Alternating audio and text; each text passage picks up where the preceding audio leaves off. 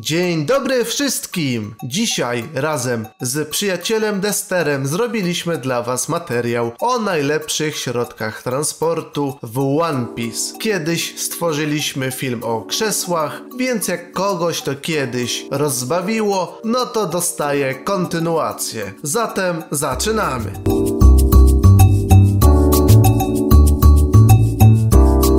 Miejscu czwartym zmora i koszmar wszystkich kierowców Ubera, czyli rysunkowy smok Ryunosuke. Jeżeli znacie to słynne stwierdzenie o pracy dla idei, a nie zysku własnego, to stworzony przez Kanjuro roztwór idealnie to uosabia. Ryunosuke jest wspaniałym środkiem transportu dla każdego zainteresowanego. Nie trzeba mu płacić, nie trzeba mu wystawiać 5 na 5 gwiazdek po dokonanym kursie. Nic nie trzeba. Możesz go co najwyżej pochwalić po wszystkim, ale nie ma to i tak znaczenia. Ryunosuke istnieje tylko po to, by dowieść cię z punktu A do B, po czym jego rola dobiega końca. Wymarzony kierowca dla każdego pracodawcy który jednocześnie jest środkiem transportu sam w sobie, przez co odpadają koszta wynajmu.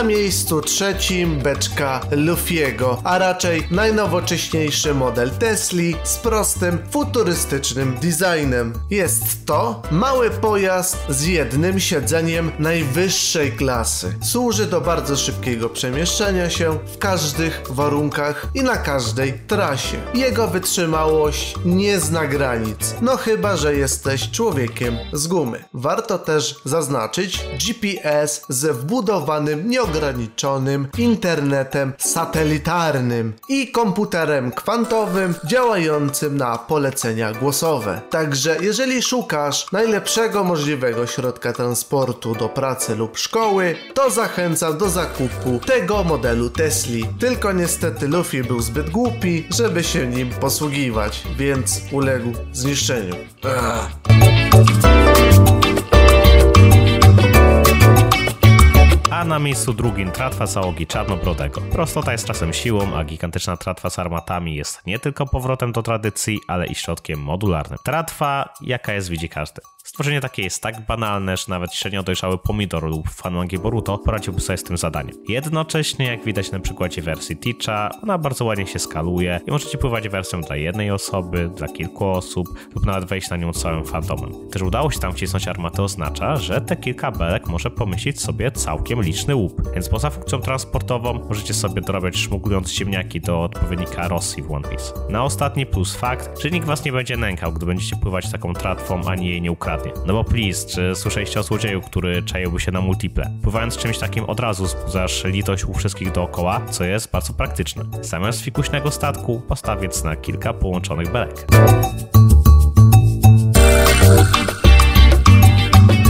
Na miejscu pierwszym, najbardziej ekologiczny środek transportu jaki istnieje, Papa Mobil 2137, napędzany niewolnikami. Praktycznie nigdy mu się nie wyczerpuje paliwo podczas prowadzenia pojazdu, a jak będzie próbował się zatrzymać, to wystarczy użyć bata i jedzie dalej. W przypadku zużycia jednej z części są miliony na ich miejsce, a jak należysz do światowej szlachty, to masz wszystko wszystko za darmo. A jak wiemy, za darmo to najlepsza cena. Jednak najlepsze jest to, że możesz strzelać, rzucać kamieniami czy podpalać papa mobila, a i tak mu się nic nie stanie. A jak zacznie wydawać jakieś dźwięki lub krzyki, to nie trzeba się tym przejmować. Podsumowując, prawie nic nie spala, więc oszczędzacie pieniądze na stacjach paliw. Super wytrzymały i pełna wymienialność części praktycznie na całym świecie. Polecany przez Instytut Zdrowia Matki i Dziecka.